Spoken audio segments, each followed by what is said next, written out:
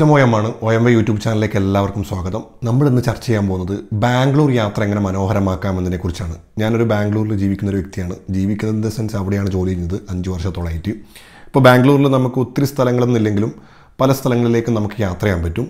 ഇന്ന് അതിനെക്കുറിച്ചാണ് സംസാരിക്കുന്നത്. പ്രധാനമായിട്ടും ബാംഗ്ലൂർ നമ്മൾ നോക്കുമ്പോൾ ബാംഗ്ലൂരിന്റെ ഓരോ സ്ഥലങ്ങളിലേക്കും കുറിച്ചുള്ള മാപ്പല്ല നമ്മൾ പറയുന്നത്.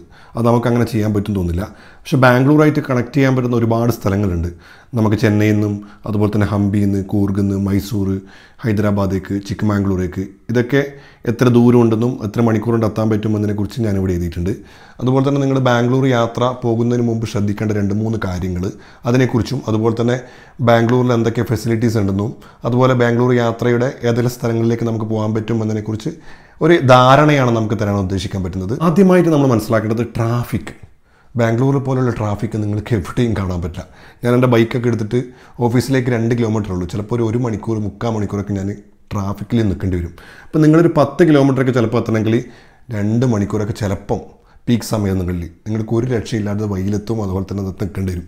രണ്ടാമത്തെ കാര്യം ബസ് കണ്ടക്ടർ അതുപോലെ തന്നെ ഓട്ടോ നമ്മൾ ഏറ്റവും കൂടുതൽ മാട്ടപ്പെടുന്നത് അല്ലെങ്കിൽ ഏറ്റവും കൂടുതൽ നമ്മൾ ചതിക്കപ്പെടുന്നത് ഓട്ടോ ഡ്രൈവർമാരും അതുപോലെ തന്നെ ബസ് കണ്ടക്ടർമാരും നമ്മൾ നൂറ് രൂപ കൊടുത്ത് ഇരുപത് രൂപയ്ക്ക് ടിക്കറ്റ് ബാക്കി എൺപത് രൂപ നമുക്ക് തിരിച്ചു തരില്ല. പിറകിൽ എൺപത് രൂപ എഴുതും ചിലപ്പം ചില ആൾ എഴുതില്ല. അങ്ങനെ പറ്റിക്കപ്പെടുന്ന ഒരുപാട് പേരുണ്ട്. ഓട്ടോറിക്ഷക്കാരാണെങ്കിൽ അഞ്ച് കിലോമീറ്റർ പോകാൻ വേണ്ടി അവർ പറയാം ചിലപ്പോൾ എണ്ണൂറ് ആയിരമൊക്കെയാണ്. അപ്പോൾ നിങ്ങൾ ചെയ്യേണ്ടത് എന്താണെന്നതിനെക്കുറിച്ച് ഞാൻ കൃത്യമായിട്ട് പറയാം. അടുത്തൊരു സംഭവം എന്ന് വെച്ചാൽ നമ്മൂരും. ഈ കർണാടകക്കാർക്ക് ഒരു പ്രത്യേക ഒരു പ്രശ്നമുണ്ട്. നമ്മളെ മറ്റു അയൽ സംസ്ഥാനങ്ങളിൽ നിന്ന് വ്യത്യസ്തമായിട്ട് ഇവർക്കൊരു നമ്മൂര് എന്നുള്ളൊരു ഇതാണ്.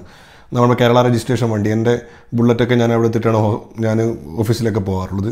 അപ്പോൾ നമ്മളെ വണ്ടി കാണുമ്പോൾ ഒരു പ്രത്യേക ഒരു എന്തോ ഒരു അങ്ങനെ ഒരു അങ്ങനെ ചില ആളുകൾക്ക് എല്ലാവരും നല്ല ചില ആളുകൾക്ക് അങ്ങനത്തെ ഒരു പ്രശ്നമുണ്ട്. അതും ഞാനിവിടെ അറിയപ്പെടുന്നു. പിന്നെ ബാംഗ്ലൂരിന്റെ ഒരു ക്ലൈമറ്റാണ് ഏറ്റവും ഇമ്പോർട്ടന്റ് മുമ്പൊക്കെ അടിപൊളിയായിരുന്നു. ഇപ്പം വീണ്ടും ഒരുപാട് കമ്പനികളും ഒരുപാട് ലൈക്കുകളൊക്കെ നശിപ്പിച്ചുകൊണ്ട് ആ ഒരു തണുപ്പൊന്നുമില്ല. അപ്പോൾ ബാംഗ്ലൂരിൽ പലപ്പോഴും എനിക്ക് തോന്നിയിട്ടുള്ളത് കിടന്നുറങ്ങാൻ വേണ്ടി പറ്റിയ അടിപൊളി സ്ഥലമാണ് ബാംഗ്ലൂർ. അതുപോലെ അടുത്ത സംഭവം എന്ന് വെച്ച് കഴിഞ്ഞാൽ മലയാളികൾ. മുക്കിലും മൂലയിലും മലയാളികളും മലയാളികളുടെ ഷോപ്പും അതുപോലെ തന്നെ റെസ്റ്റോറന്റും അങ്ങനെയുള്ള എല്ലാ സംഭവങ്ങളും ഉണ്ട്. അതുകൊണ്ട് ഭാഷ അറിയില്ല അങ്ങനെയൊന്നും പ്രശ്നങ്ങളൊന്നും ഇല്ല. മലയാള ഫുഡ് നിങ്ങൾക്ക് ഏടിയും കിട്ടും. അടുത്ത ആപ്ലിക്കേഷൻസ് ആണ്. അപ്പോൾ ഇതാണ് നമ്മൾ മെയിനായിട്ട് നോക്കേണ്ടത്. ഒരുപാട് ആപ്ലിക്കേഷൻസ് ഉണ്ട്. Quick ride Ola Uber Rapido Bounce BlaBla നിങ്ങളറിയാത്ത ഒരുപാട് ആപ്ലിക്കേഷൻസ് ഇവിടെ ഉപയോഗിക്കാത്ത ആപ്ലിക്കേഷൻസ് ഒക്കെ അവിടെ ഉപയോഗിക്കുന്നുണ്ട്. ബ്ലാബ്ല കാറിലാണ് ഞാൻ നാട്ടിൽ നിന്ന് അങ്ങോട്ടേക്ക് പോകാറുള്ളത്. നമുക്ക് അറുന്നൂറ് രൂപക്കും അഞ്ഞൂറ് രൂപക്കൊക്കെ നമുക്ക് ചിലപ്പം നാട്ടിൽ നിന്ന് ബാംഗ്ലൂരേക്ക് പോകാനുള്ള ഷെയർ ചെയ്തിട്ട് പോകാനുള്ള കാർ കിട്ടും. അത് ബ്ലാബ്ല ആപ്ലിക്കേഷനാണ്. അതോടെ ബൗൺസ് എന്നുള്ളൊരു ആപ്ലിക്കേഷൻ ഉണ്ട്. ബൗൺസ് എന്നുള്ള ആപ്ലിക്കേഷൻ നിങ്ങൾ ബാംഗ്ലൂർ എത്തിക്കഴിഞ്ഞാൽ നിങ്ങൾക്കറിയാം ട്രാഫിക്കിൽ നിങ്ങൾ ബസ്സിനൊക്കെ പോയി കഴിഞ്ഞാൽ പെടും. ബൗൺസ് ഇപ്പോൾ എടുത്ത് മാറ്റി മിസ്യൂസ് ചെയ്തുകൊണ്ട്. അതായത് ബൗൺസ് എന്നുള്ള ആപ്ലിക്കേഷൻ എന്ന് പറഞ്ഞാൽ ഒരു ബൈക്ക് ഇങ്ങനെ പല സ്ഥലങ്ങളിൽ വെച്ചിട്ടുണ്ടാകും നമ്മൾ ബൗൺസ് ആപ്ലിക്കേഷൻ ഇട്ട് കഴിഞ്ഞാൽ ഓട്ടോമാറ്റിക്കായിട്ട് ഒ ടി പി വരും.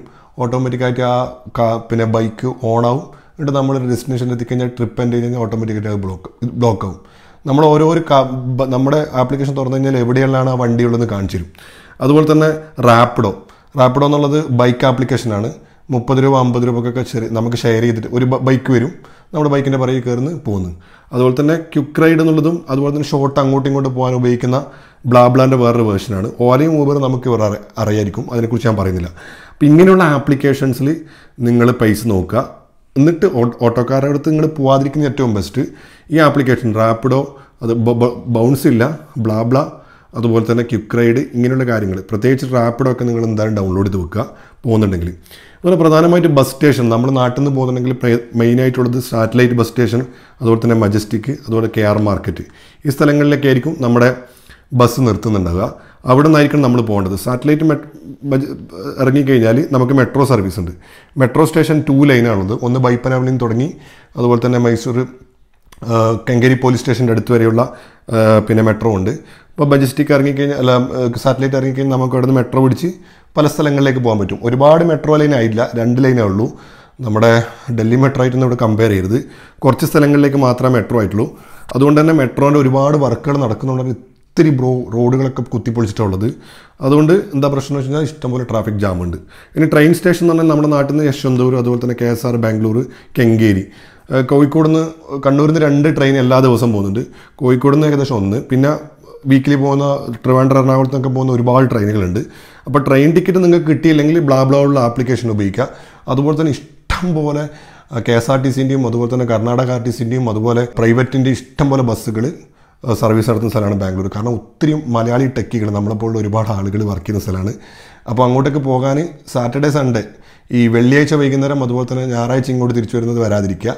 നിങ്ങൾ ബാംഗ്ലൂർ എക്സ്പ്ലോർ ചെയ്യാൻ പോകുന്നുണ്ടെങ്കിൽ വീക്ക് ഡേയ്സിൽ പോവുക. അപ്പോൾ നിങ്ങൾക്ക് അടിപൊളിയായിട്ട് പോകാൻ പറ്റും. അല്ലെങ്കിൽ ടിക്കറ്റ് കിട്ടാൻ ബുദ്ധിമുട്ടായിരിക്കും.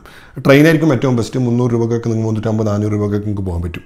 അപ്പോൾ ഇതാണ് ഈ നമ്മൾ ബാംഗ്ലൂരിൽ എങ്ങനെ എത്താമെന്നതിനെ കുറിച്ച് പറയാനുള്ളത്. ഇനി ബാംഗ്ലൂരിൽ എത്തിക്കഴിഞ്ഞാൽ നിങ്ങൾ ഏതെങ്കിലും ഒരു റാപ്പിഡോ അല്ലെങ്കിൽ ഇങ്ങനെയുള്ള സ്ഥലങ്ങൾ ഓരോ സ്ഥലങ്ങൾ കണക്ട് ചെയ്ത് കണക്ട് ചെയ്ത് പോവുക. അല്ലെങ്കിൽ സൂം കാർ പോലെയുള്ള സംഭവം ഉപയോഗിച്ചിട്ട് ഒരു ദിവസത്തേക്ക് കാറൊക്കെ എടു- കിട്ടും.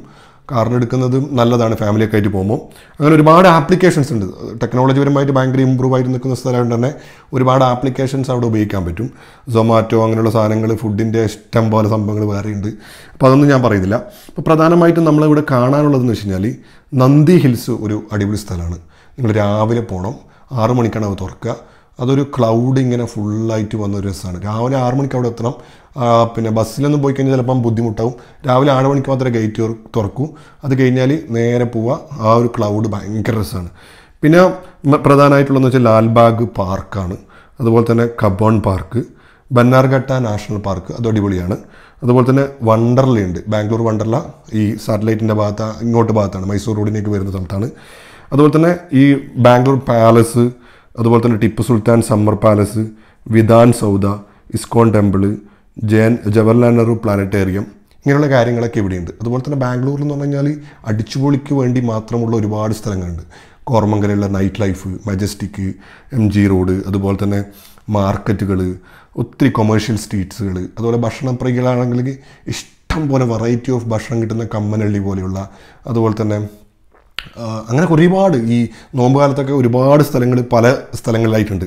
അപ്പോൾ നിങ്ങൾക്കൊരു രണ്ട് ദിവസം ഉണ്ടെങ്കിൽ ബാംഗ്ലൂർ നന്ദി ഒന്ന് രാവിലെ പോവാ തിരിച്ചു ഉച്ചയ്ക്ക് വന്ന് ഏതെങ്കിലും ആളുകൾ ഇഷ്ടം പോലെ മാളുകൾ ഞാനൊന്നും ഇവിടെ ഇടപെടുത്തുന്നില്ല. അപ്പോൾ നിങ്ങൾ അങ്ങനെ ലൈഫ് ഒരു ബിസി ലൈഫ് ഒരു ടെക്കികളുടെ ലൈഫ് അല്ലെങ്കിൽ ഒരു എന്താ പറയുക ഒരുപാട് ഓട്ടം പിടിച്ചൊരു ലൈഫ് ആ ഒരു അടിച്ചുപൊളി ലൈഫ് വൈ അടിച്ചുപൊളി ലൈഫ് ഇൻ സെൻസ് വൈകുന്നേരം പബ്ബും അതുപോലെ അങ്ങനെയുള്ള സംഭവങ്ങളൊക്കെ ലൈഫ് അല്ലെങ്കിൽ ഇങ്ങനെ കുറേ പാർക്കുകൾ ഈ ലാൽബാഗും മറ്റു പാർക്കുകൾ അങ്ങനെ കുറച്ച് അങ്ങനെയൊക്കെയാണ് നിങ്ങളുടെ ഉദ്ദേശമെങ്കിൽ നിങ്ങൾക്ക് ഇഷ്ടപ്പെടും ചിലപ്പോൾ.